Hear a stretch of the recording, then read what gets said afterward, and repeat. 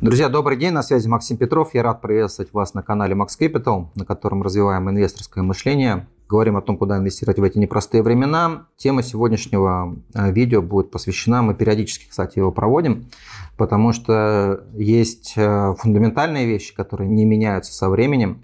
И о таких фундаментальных вещах мы поговорили вот в этом видео, где я рассказал как раз-таки про то, какие бы советы я оставил своим собственным детям, которые, в принципе, они статичные, некие аксиомы, да, которые могут соблюдаться в любые промежутки времени. Есть вещи динамичные, да, то есть мы живем в динамичной экономике, мы живем в экономике, которая основана на кредите. А кредит – это деньги, которые, по сути, делаются из воздуха, но за них приходится платить. И когда мы живем в такого рода экономике, то экономика, основанная на кредите, она имеет волновую историю, волновую природу, что в ситуации, когда деньги дешевые, экономика растет, в ситуации, когда деньги становятся дорогими, экономика снижается, и сейчас хотелось бы поговорить о глобальной экономике. Еще раз вернуться к вопросу. Мы где-то раз в 2-3 месяца подобного рода видео записываем, чтобы держать руку на пульсе и понимать, где же мы находимся сейчас, какие индикаторы имеет смысл отслеживать, чтобы посмотреть, э, что называется, построить прогнозную модель, что нам ждать в ближайшее время. Итак, э, на графике сейчас видите вот эту вот волновую природу экономики, да, когда наступает пик, э, с пиков у нас происходит рецессия, достигает экономика дна, и снова наблюдается рост. При этом на графике да, для большего визуального восприятия оно построено в рамке такой э, волновой истории, но по факту она, ну, то есть сама эта волна, она имеет направление вверх. То есть ключевым является все-таки, когда мы говорим про рост экономики, про рост ВВП, мы говорим про то, что у нас производительность труда растет, и экономика, она, соответственно, не в горизонтальной плоскости растет и снижается, да, а это идет с небольшим повышением, да, то есть волна направлена непосредственно вверх, поэтому каждое следующее дно бывает выше, чем предыдущее дно. Опять обусловлено это ростом а, производительности, то есть сколько мы производит не мы, вернее, сколько производит мировая экономика за единицу времени товаров и услуг. Так как производительность труда растет, то, соответственно, экономика все равно, несмотря на то, что есть фаза роста и фаза спада, она долгосрочно все равно поднимается. Итак, а о чем хотелось бы поговорить и еще раз вспомнить, какими у нас являются индикаторы, в какой стадии экономического роста находится экономика. Выделяют четыре стадии – возрождение, развитие, охлаждение и экономический нокдаун. На какие основные ключевые показатели нужно обращать внимание? Это на ВВП, на рынок труда, Другими словами, безработица. Что происходит с промышленностью? Растет она или снижается? Что происходит с кредитованием? Активно оно или оно замедляется? А также, что происходит с корпоративными прибылями компаний? Что происходит э, со стимулами со стороны Центрального банка? Он ужесточает денежно-кредитную политику или смягчает денежно-кредитную политику? Что происходит со складскими запасами? Потому что, опять-таки, для экономики это очень важно. Когда экономика впадает в рецессию, то складские запасы, как правило, растут. Потому что уровень безработицы увеличивается, меняется, люди не верят в завтрашний день, начинают меньше потреблять, а предыдущие годы роста да, приводили к тому, что промышленность, производство товаров и услуг росло, росло, росло, росло. Товары и услуг производится много, люди начинают меньше потреблять из-за роста безработицы, складские запасы увеличиваются. Ну и продажа товаров и услуг тоже немаловажный фактор, некий такой опережающий индикатор, который как раз-таки позволяет спрогнозировать, да, у нас продажи растут или падают. Если они растут, то это хорошо. Если падают или замедляются, то в этом случае это является негативным эффектом. Я не буду сейчас зачитывать слайды, вы можете поставить на паузу, посмотреть, что каждый из этих показателей, в какой промежуток времени, какими параметрами обладает. Давайте посмотрим в настоящий момент, что у нас происходит с этими показателями, в первую очередь в американской экономике. Динамика ВВП квартал к кварталу, то есть что происходит с динамикой ВВП с 2020 года по квартально, да, то есть мы наблюдаем, что было падение да, в 2022 году было снижение, два квартала подряд в технической рецессии находилась, но после этого экономика восстановилась, но в настоящий момент у нас идет некая такая стагнация, то есть от 3,2% до текущего момента 2,4%. То есть ВВП не растет. То есть первое, что нужно констатировать, что ВВП не растет и постепенно замедляется. Что у нас происходит с уровнем безработицы? Уровень безработицы, видим высокий скачок в э, период ковида, да, безработица очень сильно выросла. Сейчас она, соответственно, сократилась. Ну и последние данные здесь на графике непосредственно не приведены, но уровень безработицы начинает медленно повышаться, медленно расти.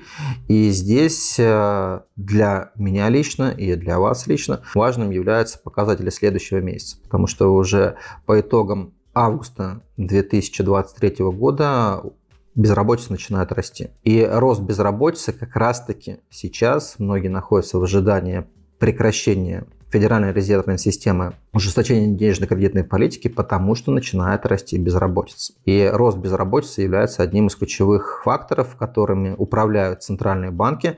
Они по факту управляют двумя показателями – инфляцией и безработицей. И здесь важно, соответственно, что происходит с безработицей, потому что если безработица будет увеличиваться, это будет как раз-таки говорить о том, что мы начинаем переходить в фазу экономического нокдауна, потому что сейчас экономика Соединенных Штатов Америки, а за ней и вся мировая экономика, она, скажем так, очень серьезно замедляется. Что происходит с индексом деловой активности? Индекс деловой активности у нас с 2021 года даже снижается. Э, опять-таки на графике видно это снижение. Когда индекс деловой активности падает ниже 50%, это сигнал о том, что приближается рецессия. И опять уже более двух кварталов подряд у нас получается PMI, индекс деловой активности в производстве, находится по значениям ниже 50, и это в Америке. Да? То есть эти показатели в еврозоне еще на более низких значениях находятся. Что происходит с индексом доверия потребителей? Опять-таки с 2020 года он снижался. Небольшое повышение, соответственно, было в 2023 году. А, чем доверие потребителей да, сейчас подрастает и почему так сильно снижалось, что на это влияло. Доверие потребителей, оно падает, когда высокая инфляция. То есть, когда показания инфляции высокие, они нестандартные, инфляция очень сильно увеличивается, доверие у потребителей снижается. И в этом случае они, соответственно, начинают покупать больше. Они боятся от роста будущего цен. И, соответственно, индекс доверия потребителей снижается. Почему сейчас наблюдается э, рост индекса доверия потребителей? Потому что замедляется инфляция. Инфляция замедляется по двум причинам из-за того, что растут процентные ставки, раз, и повышаются процентные ставки в Америке. Наверное, это ключевой показатель, да, то, что доверие постепенно восстанавливается, но опять оно не параметр его находится ниже 80%. То есть доверие потребителей еще не восстановилось в полном размере. Очень важный показатель объема кредитования, потому что объем кредитования как раз-таки показывает, какой размер покупательской активности населения. Люди могут потратить собственные заработанные деньги, они могут потратить деньги, взятые в кредит. И что здесь получается? Здесь получается, что, во-первых, доверие потребителей снижается, они, соответственно, меньше хотят покупать, меньше хотят потреблять. Процентные ставки при этом растут. По высоким процентным ставкам, соответственно, никто не хочет брать кредиты, которые дорогие, которые дорого обслуживать. Объем кредитования снижается. Да, еще не критически, но тем не менее можно видеть, что с января 2023 года наметилась тенденция к снижению кредитования, и люди, соответственно, в кредит не берут. Если не берут, значит не тратят. Если не тратят, значит производители товаров и услуг не получают прибыль, и будущие корпоративные прибыли будут снижаться. То и показывает следующий график, что объем корпоративных прибылей в 2023 году снижается. Индекс доверия потребителей низкий, объемы кредитования уменьшаются, корпоративные прибыли снижаются и настолько снижаются, и вот то, о чем а, говорят единицы, что сейчас, если мы говорим про американские корпорации, форвардное значение прибыли следующие 12 месяцев у американских корпораций ниже ставки безрисковой доходности. То есть еще раз задумайтесь, это является очень важной историей. Об этом очень много пишет Шиллер в своей книжке «Иррациональный оптимизм». Как раз таки, когда грядут, что называется, неприятности и существенные неприятности, признаками грядущих неприятностей являются то, что рынок акций не предоставляет премии за риск. Опять звучит непонятно, и многие меня обвиняют в том, что говоришь очень интересно, но непонятно. Давайте попытаюсь разложить на пальцах. Вот вы капиталист. Кто такой капиталист? Это человек, у которого есть капитал, у которого есть деньги. И у вас есть два варианта. То есть первый вариант, вы можете дать деньги в долг правительству Соединенных Штатов Америки. Да, высокий уровень долга, да, высокая стоимость обслуживания кредита, да, доходная часть бюджета не очень высокая, там есть дефицит бюджета, причем существенный дефицит бюджета, но тем не менее у правительства Соединенных Штатов Америки есть такой дружбан, хороший дружбан, Федеральная резервная система. То есть, если они будут вновь выпускать государственный долг, если они снова будут занимать, если желающих купить этого долга будет не так много, всегда может появиться ФРС, напечатать деньги и на эти напечатанные деньги купить долги правительства Соединенных Штатов Америки. И тогда что произойдет? Вы капиталист, то есть вы не ФРС, вы не правительство, у вас просто есть деньги. И вы можете эти деньги дать правительству Соединенных Штатов Америки. При всех тех рисках, которые присутствуют, высоком уровне долга, высокой стоимости обслуживания кредита, низких доходах бюджета. В принципе, вы не рискуете в плане того, что ну, пока что есть друг в лице ФРС, и если надо будет, правительство выпустит новые облигации, ФРС эти облигации купит, а с вами, как с держателем уже выпущенных облигаций, правительство расплатится. И вот в текущий момент вы можете получать доходность там, по 10-20-летним облигациям на уровне 3,5-4%. А инфляция составляет там, ну, те же самые 3,5-4%. То есть, как минимум, от инфляции вы защищены. И вот первый вариант дать на 10 лет правительству Соединенных Штатов Америки и не париться вообще, да, то есть это называется ставка безрисковой доходности. То есть вы получаете на каждые вложенные 100 долларов свои 3,5-4 доллара в год. Но вы хотите больше. 3,5-4% это маловато будет, да, то есть как в том мультике падал прошлогодний снег. И тогда вы говорите, я, для меня это мало, я не хочу. Я не хочу, чтобы у меня деньги просто защищались от инфляции, я хочу получить большую норму доходности. И в этом случае в экономической теории, в основах э, стоимостного инвестирования появляются акции. Акция не дает никакого гарантированного дохода, вы там вообще не получаете никакой гарантированный доход, но вы имеете право на получение чистой прибыли, доли чистой прибыли, которую компания заработает. И для того, чтобы вас как капиталиста заинтересовать инвестировать в акции или создавать собственный бизнес, у вас должна быть премия за риск. Премия за то, что вы идете в неизвестность. Премия за то, что вы идете в неопределенность. И поэтому вы, если вам будут предлагать доходность, например, дивидендную доходность в акциях на уровне 3,5-4%, вы скажете, ребята, зачем вам мне такие красивые нужны? Но свои 3,5-4% я могу получить и там. И к вам я пойду если вы мне обеспечите как минимум дивидендную доходность 3,5-4%, и у вас все будет хорошо с чистой прибылью, у вас будет высокая маржинальность, у вас будет растущий бизнес, а у вас будет относительно небольшой объем выплаты чистой прибыли в форме дивидендов, да, то есть есть куда расти. И тогда, да, тогда есть так называемая премия за риск. То есть я помимо дивидендов еще и получу дополнительную прибыль за счет того, что вы создадите больше продуктов, продадите больше продуктов, заработаете нам, всем акционерам. Это называется премия за риск риск. И стандартная премия за риск, соответственно, в Америке составляет исторически в районе 4%. Что мы получаем в этом случае? Мы получаем, что для того, чтобы сейчас инвестировать в акции американских компаний, у нас должна быть доходность форвардная доходность акций американских компаний на уровне 7,5-8%. А эта доходность находится даже ниже доходности облигаций.